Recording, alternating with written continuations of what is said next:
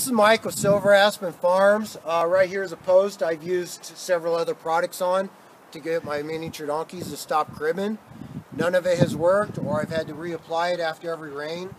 Since I've used the Equistop, uh, this stuff has worked great because it's been rained on, snowed on, and the stuff's still effective.